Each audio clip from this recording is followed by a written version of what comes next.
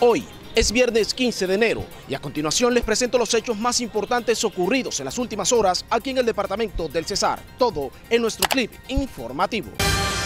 El presidente de la República, Iván Duque Márquez, en su reciente visita al departamento del Cesar, firmó en el municipio de La Paz el Pacto Territorial Cesar-La Guajira, con el fin de impulsar la reactivación económica regional, reducir la pobreza y mejorar la competitividad del sector productivo de las dos regiones, con una inversión cercana a los 4.4 billones de pesos.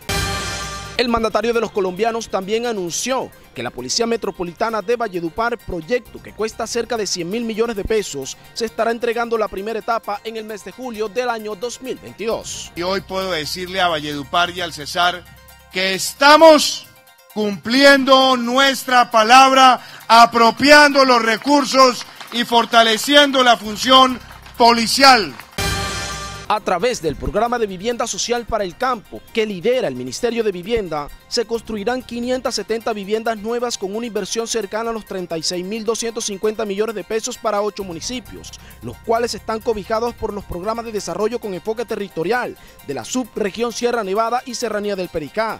Esta convocatoria se da gracias al gobierno nacional y a la gestión del alcalde de La Paz, Martín Zuleta. Decirle que como municipio PD y como miembro de OCAPAS estamos muy contentos. El PD Sierra Nevada Perijá hoy tiene más de 800 mil millones de pesos aprobados por el OCAPAS. Un patrullero de la policía, identificado como Wilson David Zúñiga Gómez, quien se encontraba en servicio presidencial, fue sorprendido por unidades de seguridad presidencial con un arma de fuego tipo revólver. El policía se encuentra adscrito al CAI Mercabastos de la estación de policía Valledupar, con un tiempo de servicio de un año y diez meses en la institución. Incumpliendo las directrices e instrucciones que frente a este tipo de eventos se deben de acatar. Por lo tanto, fue dejado a disposición de la justicia penal militar y se aperturó la correspondiente investigación disciplinaria a que haya lugar. Ante el gobernador del Cesar Luis Alberto Monsalvo tomaron posesión los nuevos secretarios de su gabinete. Son ellos el secretario de Gobierno Eduardo Esquivel López, en Agricultura está José Osorio, Joan Crespo va al CDT, Carlos Daza a la Oficina de Riesgo, Régulo Pineda a la Secretaría de Deportes y Violeta Ortiz en la Oficina de Planeación. No les voy a dar ni siquiera la gabela de que quieran improvisar en los resultados que ya tienen que mostrar. Con estos nuevos aires, el gobernador Luis Alberto Monsalvo piensa darle mayor dinámica a su gobierno en el compromiso de hacerlo mejor. Una bebé de 11 meses murió ahogada en un balde con agua. El fatídico incidente ocurrió la noche de ayer en un lote ubicado al norte de Valledupar. Los padres de la menor de origen venezolano, una vez se percataron de lo sucedido, la trasladaron a un centro asistencial de la ciudad donde llegó sin signos vitales.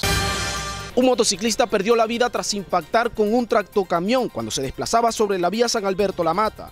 La víctima, identificada como Arnulfo Tarazona Rupero de 69 años, al parecer invadió el carril contrario, siendo impactado por el vehículo de carga pesada. Hasta el próximo lunes primero de febrero estarán abiertas las matrículas para la primera cohorte del nuevo programa de comunicación social de la Fundación Universitaria del Área Andina, con el cual la institución busca aportar a la transformación del territorio, cerrando las brechas de acceso a la educación superior y, a su vez, fortalecer desde la academia esta área profesional de gran relevancia para la región.